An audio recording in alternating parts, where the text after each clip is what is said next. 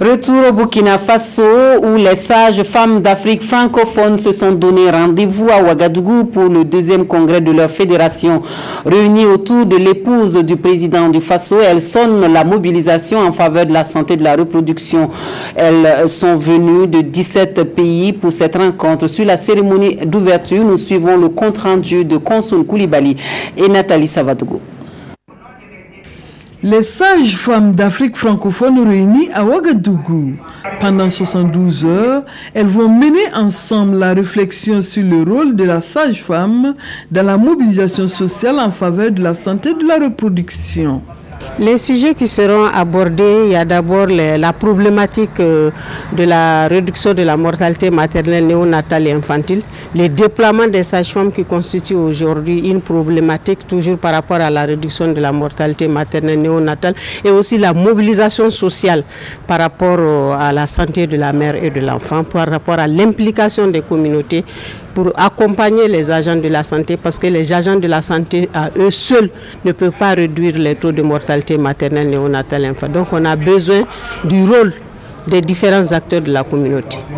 Le gouvernement burkinabé constate déjà des efforts pour rendre accessibles les soins de santé de qualité aux populations, dira l'épouse du chef de l'État. Il en est de même en matière de planification familiale.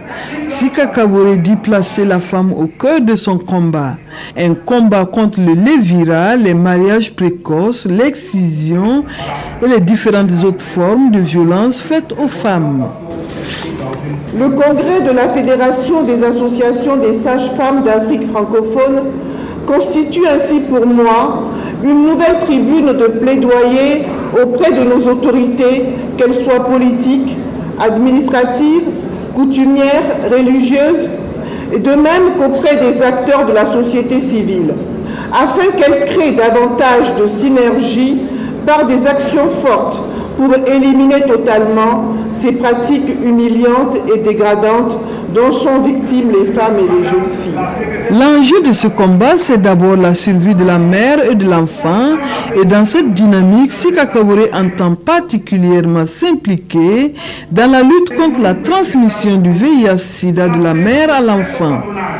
En ma qualité d'ambassadrice de bonne volonté de l'ONU-SIDA pour la prévention de la transmission de la mère à l'enfant du VIH-Sida, je me tiens résolument à vos côtés pour mettre fin à ce mode de passage du VIH, base de certains décès infantiles. Cette réunion de Ouagadougou va permettre d'aborder les questions essentielles pour une maternité sans risque.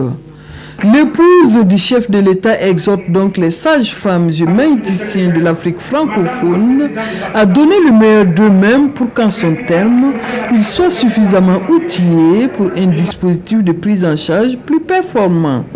À l'occasion, la directrice générale de l'ONG Guipaigo et la présidente de l'association burkinabé des sages-femmes et médecins d'État ont été élevés respectivement au grade de l'étalon et chevalier de l'ordre de l'étalon.